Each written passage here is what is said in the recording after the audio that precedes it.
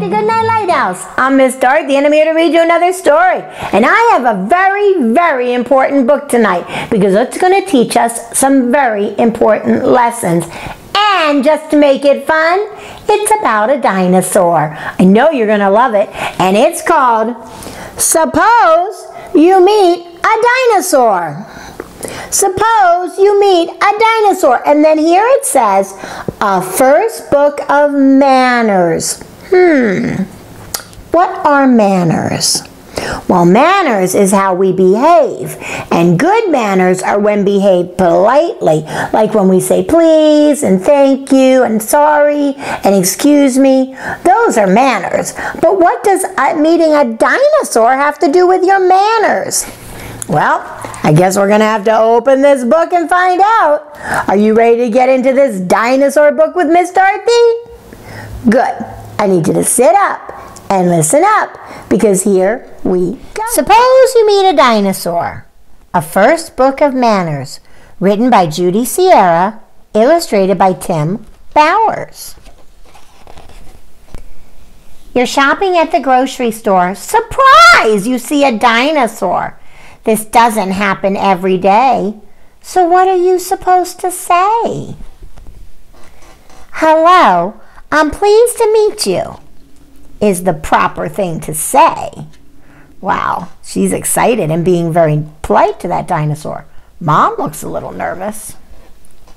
Imagine that the dinosaur is standing by the bathroom door. You have to pee. She's in your way. Quick, what's the proper thing to say? Excuse me. That's the polite thing to say as you rush past the dinosaur. Commotion in the produce aisle. The dinosaurs upset a pile of apples and they roll away. If you pick them up, what will she say?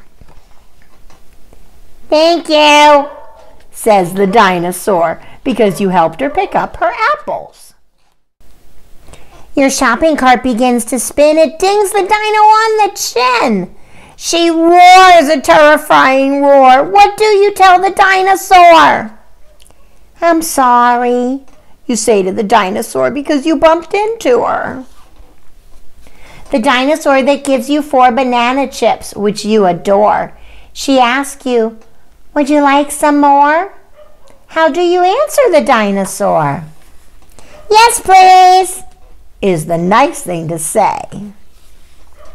You want to buy some butter brickle. Yikes, you need another nickel. The dinosaur says, Here's a dime. What are the magic words this time? Thank you. Here's your change. Would you like some butter brickle? The dinosaur is worried that a brickle snack would make her fat. She does not want it even slightly. How does she let you know politely? Oh, the dinosaur wants to say no, but she doesn't want to be rude. What should she say? No, thank you. That's the polite thing to say. You find her glasses on the floor and hand them to the dinosaur. She smiles and says, Why, thank you, dear. What words does she expect to hear? You're welcome. Out the door of the grocery store tromps the friendly dinosaur. She's waving as she drives away. I'm sure you know the words to say. Goodbye. It was nice to meet you. Wow, that was a good book.